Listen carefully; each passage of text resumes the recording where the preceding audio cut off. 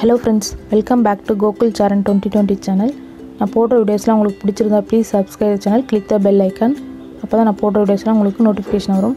இன்றைக்கி நம்ம வீடியோவில் என்ன பார்க்க போகிறோன்னா இருமல் சளிக்கு ஏற்ற ஒரு குழம்பு ரெசிபி தான் பார்க்க போகிறோம் கச்சக்கருவோட ரசம் ரெசிபி தான்.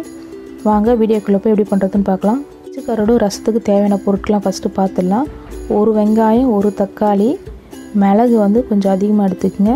சீரகம் அதோட கொஞ்சம் கம்மியாக கொஞ்சமாக மஞ்சப்பொடி கொஞ்சமாக மிளகாய்த்தூள் பத்து பல் பூண்டு கருவேப்பிலை தாளிக்க கடுகு வெந்தயம் உப்பு. நான் வந்து ஒரு லெமன் சைஸ் அளவுக்கு புளியை எடுத்து தனியாக கரைச்சி வச்சுருக்கேன். கருவாடு வந்து தலையெல்லாம் எடுத்துட்டு கொஞ்சமாக மஞ்சப்பொடி சுடு தண்ணி ஊற்றி ஊற வச்சு வச்சுருக்கேன். அப்புறம் க்ளீன் பண்ணி லாஸ்ட்டாக நம்ம சேர்த்துக்கலாம்.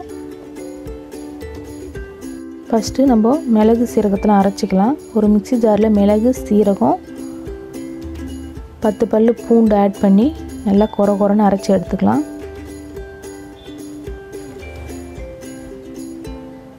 தோலோடு சேர்த்துக்குங்க அப்போ தான் வாசனை நல்லாயிருக்கும். மிளகு சீரகம் பூண்டு இந்த அளவுக்கு குற குறன்னு அரைச்சி எடுத்துக்குங்க. ஃபஸ்ட்டு ஒரு வானிலையை ஹீட் பண்ணிவிட்டு நான் கொஞ்சமாக நல்லெண்ணெய் ஆட் பண்ணிக்கிறேன்.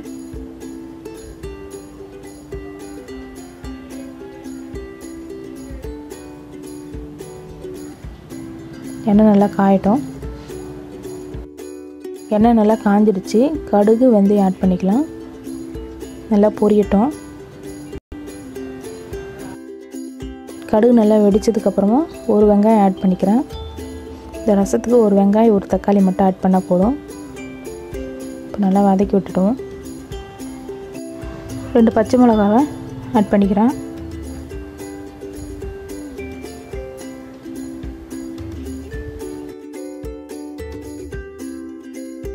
வெங்காயம் பச்சை மிளகாய் நல்லா வதங்கிடுச்சு. கருவேப்பிலை தக்காளி ஆட் பண்ணிக்கிறேன். தக்காளி நல்லா வதக்கி விட்டுடுவோம்.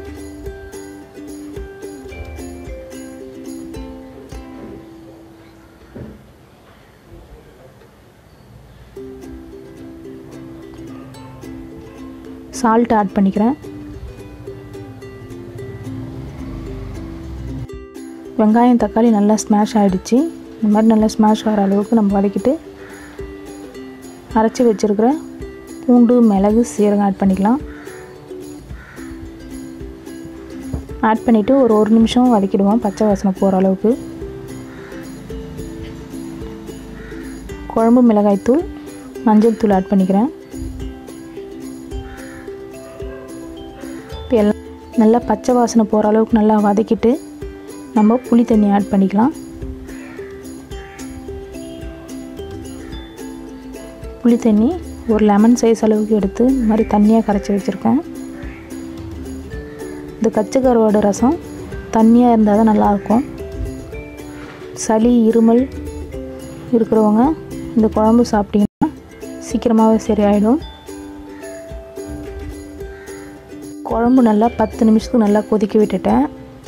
புளியோட பச்சை வாசனை மிளகாத்தூளோட பச்சை வாசனை மிளகு சீரகத்தோட பச்சை வாசனை எல்லாம் போய் நல்லா ரசம் வாசனை வருது. நல்லா தண்ணியாக இருக்கணும் குழம்பு.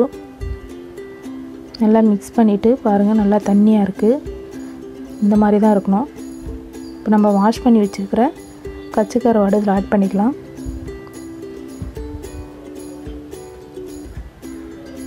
கிராமத்துலலாம் இந்த மாதிரி தான் பண்ணி கொடுப்பாங்க. சளி இருமல் இருக்கிறவங்களுக்கு. நல்லா ரசம் மாதிரி தளர சூடான சாதத்தில் போட்டு சாப்பிட்டோம்னா அவ்வளோ நல்லது சளிக்கு இருமலுக்கும்.